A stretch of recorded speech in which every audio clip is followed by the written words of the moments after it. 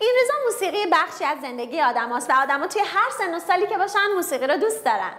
موزیک باعث میشه که خاطرات آدما ثبت بشه باعث آرامششون میشه و بعضی موقع آدما انقدر از موزیک انرژی می‌گیرن که مدام بالا و پایین میپرن.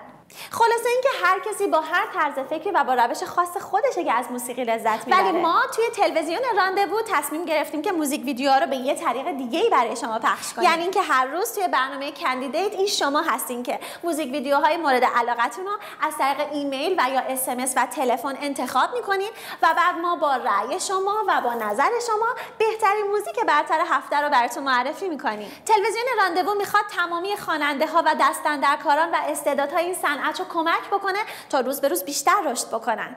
حالا بین موزیک لس آنجلسی و موزیک زیرزمینی این شما عزیزان هستین که انتخاب می‌کنین کدوم از همه بهتره. برنامه Candidate هر روز در تلویزیون راندوو شما رو با اخبار بهترین های موسیقی دنیا آشنا می‌کنه. پس یادتون باشه هر روز با برنامه Candidate در تلویزیون راندوو همراه ما باشید.